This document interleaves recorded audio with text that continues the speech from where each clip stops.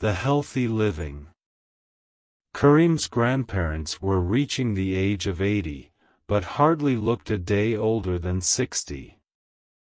It was a family ritual to gather at his grandparents' house every Sunday and on public holidays.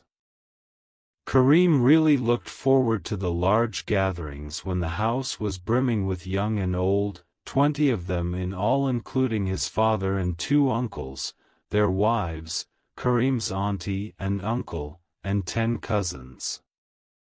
He enjoyed listening to the conversations especially those led by his dada while he would be sipping tea or munching on dried apricots, depending on the weather. The house was typically filled with a multitude of noises, discussions and arguments, sharing of stories and recipes, peppered by a background humming of TV, which was never watched but also not switched off.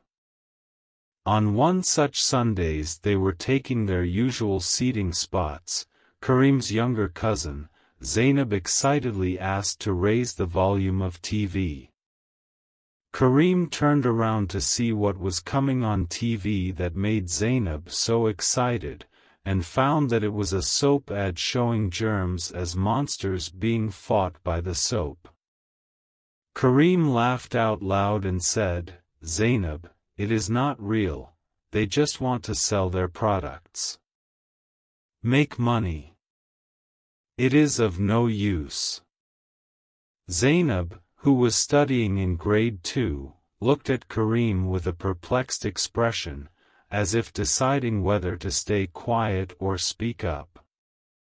After a moment or two, she mustered her courage and decided to speak her mind.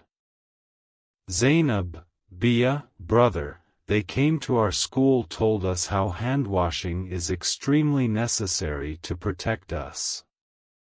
My teacher also showed us how to wash hands properly and the critical times when we must wash both our hands.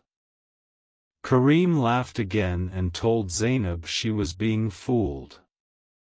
He added convincingly, believe me, just washing hands cannot protect anything or anyone in an environment full of germs and bacteria. Pollution is everywhere. Zainab now had a painful expression on her face, almost woefully she said, but it does be a. Hand washing prevents from the direct transferring of germs into mouth, the germs that cause diarrhea. She reluctantly paused and then added in a smaller voice. Can you imagine how unhygienic it will be if we don't wash hands after using latrine or before eating? Karim, a little annoyed with his little cousin, pushed on saying, I am not saying hand washing, I am saying soaps are marketing gimmicks.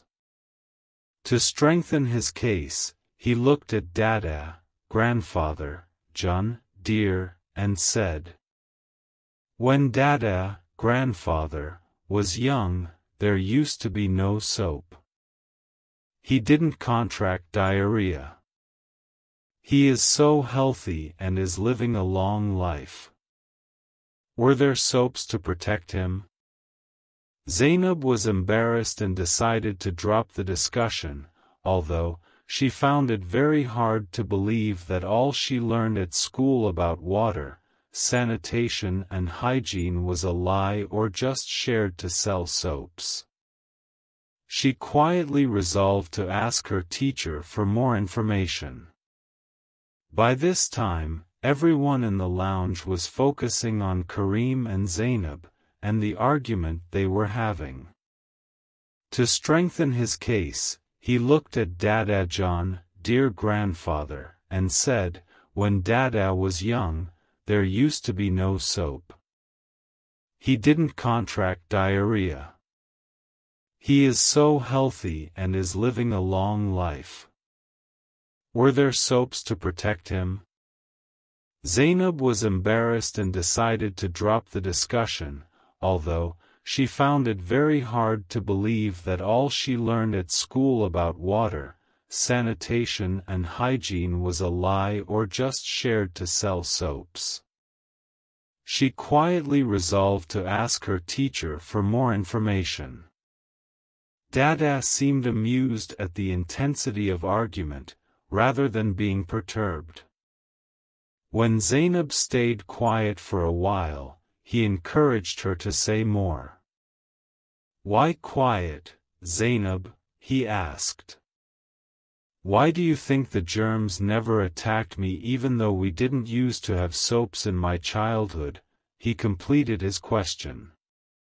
Karim looked quizzically at his grandfather. He was certain that he would also laugh at his tough question to Zainab.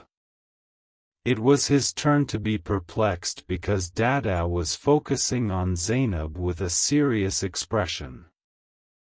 Zainab got renewed confidence with her grandfather's interest in her views. She piped excitedly, Dada Abba, there were other natural products used when soap was not invented or available widely. I am sure you used fitkari, alum, haldi, turmeric, neem leaves or camphor, all of these organic products are antiseptic and antibacteria. My teacher said it is only through hygienic practices that we can protect ourselves from harmful bacteria, which are everywhere. Grandfather looked very pleased with Zainab, and told her she was absolutely right and so was her teacher. He then turned to Karim, who appeared a bit chastised with the informative response of his twelve-year-old cousin. Beta, son, Karim, said Dada in a polite and patient tone, we should embrace the scientific advancements and benefit from them. It is a very good thing that Zainab's school is creating awareness about such critical issues. Do you know diarrhea is one of the main causes of death among young children across the world? Of course, you are right about the contaminated water and pollution being the prevalent cause. Only 12% households in Pakistan use treated water. We must raise awareness about this and push for stopping the polluters, stricter regulations, and law enforcement. At the same time, we cannot override the importance of safety measures that do not require government support or major legislations.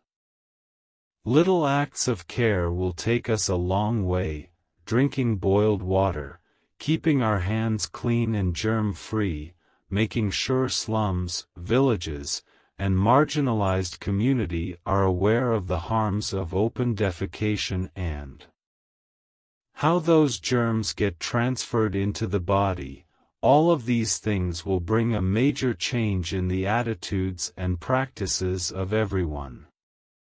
Karim was transfixed and admired his grandfather even more for his positive and constructive thinking.